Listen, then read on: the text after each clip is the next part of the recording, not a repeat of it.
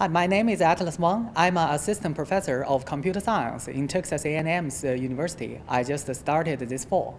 My research concerns robust computer vision systems in the wild environment, uh, including those really unconstrained, complicated environment which will uh, cause serious degradations to computer vision systems.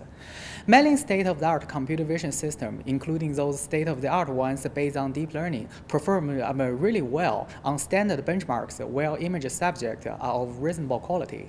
However, their performance become vulnerable when applied to the environment where degradations are ubiquitous and inevitable.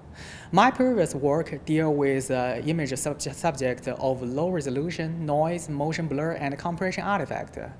We more recently have extended our scope to dealing with bad, we bad weather, extreme conditions, and other more challenging extreme conditions in imaging. For example, one of my work presented in my poster dealing with how to detect and track objects, uh, primarily uh, the pedestrians and vehicles from hazy, video, hazy videos, video taking the hazy weathers. So we are able, by user, by combining a physical, physical rule-based method and a data-driven method, we're able to obtain a very compact deep learning model that can help us uh, significantly improve the detection rate in the, in the realistic haze.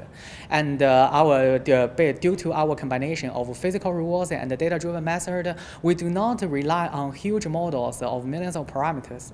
Actually, our model only consists of thousands of parameters and it can be run nearly real-time in many devices.